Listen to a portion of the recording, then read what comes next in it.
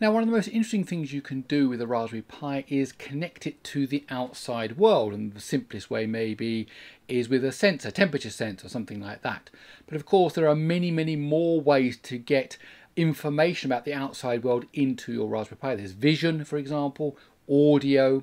And of course, nowadays we've got things like large language models. Now, my kind of dream is that we're not too far away from kind of the R2D2 world.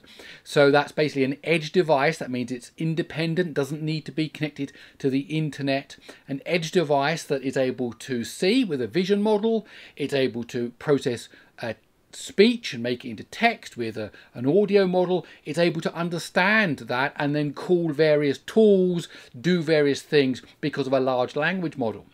Now, Raspberry Pi have a hat as a hardware extension that brings AI to the Raspberry Pi board. Now, they've just released a new one, the AI Hat Plus 2. And this one is specifically designed for running large language models and vision models on the Raspberry Pi using a separate coprocessor so you don't have to occupy the CPU and the memory inside of your main board, this secondary board. Think of it like a GPU in your PC. It handles all the graphics, the CPU doesn't need to worry about it, they just need to communicate with you. This is a separate board that handles all of this stuff for you to add vision and audio and large language models to your Raspberry Pi. So the AI Hat Plus 2, that's what we're going to talk about today. So if you want to find out more, please let me explain. Okay, so let's dive into this. So at the heart of the AI Hat Plus 2 is the Hailo 10H AI Accelerator.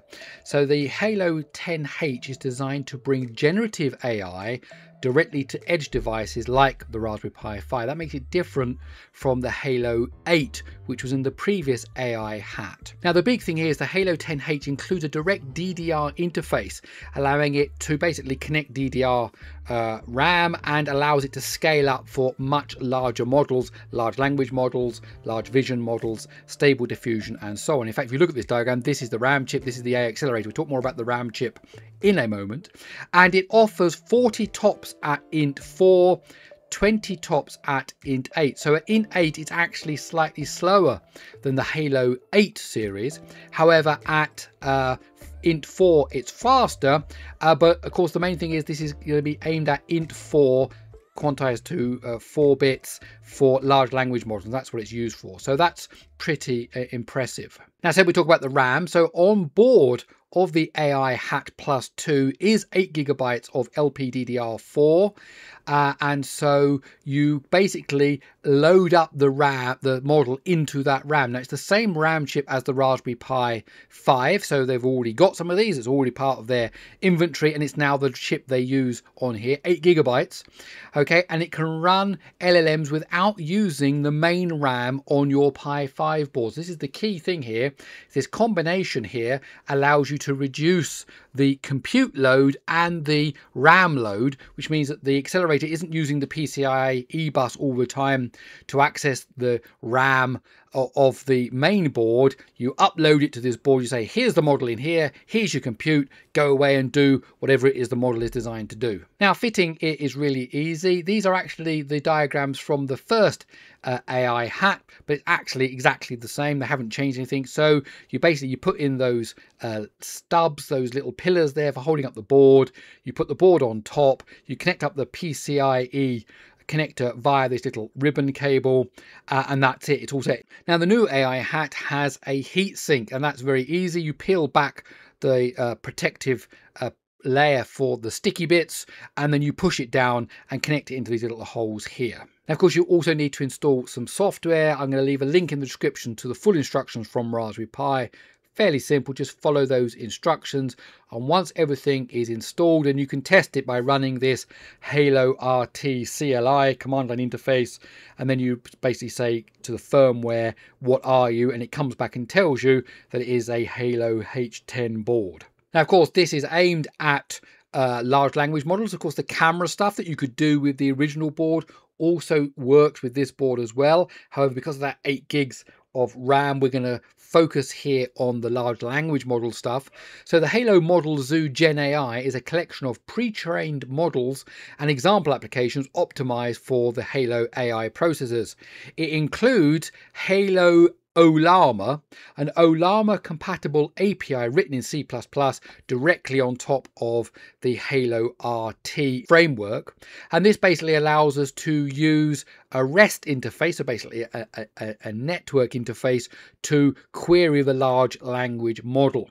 So for example, if you are running this in its purest form, you would run Hailo Ollama in one terminal window and it comes up as it is I'm running on port 8000. Then in another terminal window, you might send it a request and you can do that using something like curl and that will say, look, go to this local host, that's the board you're on, port 8000, the same as over there. And I want to call this API Hailo V1 list. And what that will do is here it will say I've got five models in the store and it lists them out here. DeepSeek, uh, Llama 3.2 and so on. Of course, this notice here, this all comes back in JSON format. So it's not a human readable interface. So there needs to be a way that you can actually talk to this via a kind of a human interface. Now that's where Pillama comes in. Pillama is a Python script that I've written that handles all of these calls. You don't need to use curl, you don't need to understand JSON. It handles all of this for you and allows you just to chat to it using kind of just you know a normal chat interface that you would from the command line. You can find it in my GitHub repository. The link's in the description. And I will give you a whole dedicated video about Pillama just after this one. I'll just show you now quickly how it works so you can see it in operation, but the full in-depth video is coming soon. Okay, so here in one window, I've run Hailo Ollama, so you can see the server is running on port 8000. Okay, here now in another window, I'm going to run Pillama and you specify the model minus minus model and I'm going to run Qwen 2 1.5 billion. That will go ahead and uh, start the program. I can type in the prompt, tell me five interesting things about London. Now it does take a second for it to load up the model into that 8 gigabytes of RAM. It's actually reading it off an SD card from my Pi 5 board and then into that uh, AI Hat uh, plus 2 board and then it will start giving us a response. Here it comes. Here are five interesting things about London. The Tower of London is the royal palace and residence of the British monarchs since 660 uh, AD and so on. So here are all the things coming out and this is running on the uh, Hailo board and uh, my Pillama script has handled all that for you so you just get to do normal chatting. As I said, separate video coming about this soon. Now Pillama isn't the only way you can interrogate the LLM on the Hailo board. You can also use OpenWebUI, a self-hosted AI web interface designed to operate entirely offline with systems like the AI Hat Plus 2 and they've full instructions again uh, to how to install that and I'll leave a link in the description below. But let me just demo it running for you so you can see what you can achieve with that. Okay, so this is Open Web UI. It's a very familiar chat interface. Up at the top left here, we can select the model. This will query Hailo Ollama and ask it what models are available. Let's go with Qwen 2 1.5 billion. Here in the chat box, we can do what we normally do. Tell me five interesting things about New York hit OK. That will go away, load the model up into the AI Hat Plus two if it's not already loaded into memory and then start giving us the response. Now we need to talk about performance. You've you've got this board you've installed it you've got the the models on it you've got everything you set up. What kind of performance can you expect? Well just a couple of things to note. Llm performance is constrained by two factors compute and memory. In other words the Hailo chip which we saw there the ai accelerator and that eight gigabytes of RAM. Now the AI Hat 2 has the same memory bandwidth as the Pi 5. So at the most it can achieve is the same performance as the CPU on the Pi 5 because it will be bottlenecked by the memory bandwidth. So here we've got the AI accelerator and then that 8 gigabytes of LPDDR4 RAM. However, just even though that may sound like a problem, we're going to only get maximum the same performance it is worth noting that it means that the compute and the memory resources of the Pi 5 aren't occupied by running the AI model. Both the compute and memory usage are offloaded to the AI Hat Plus 2. Let me show you what I mean by that. Okay, so here I have two windows open on my Raspberry Pi 5 and on the left hand side I've got HTOP running which is showing us the CPU and memory usage. As you can see here, not very much CPU usage uh, and what we're basically going to do is we're going to load up uh, a model into the memory and we're going to start running it. And notice the memory is 2.46 gigabytes and the CPUs are running here at maximum topped out across all the cores. So CPU usage, compute and memory are both being used when you run Ollama just on the Raspberry Pi 5 without using the Hailo accelerator and that 8 gigabytes of RAM in the AI Hat Plus 2.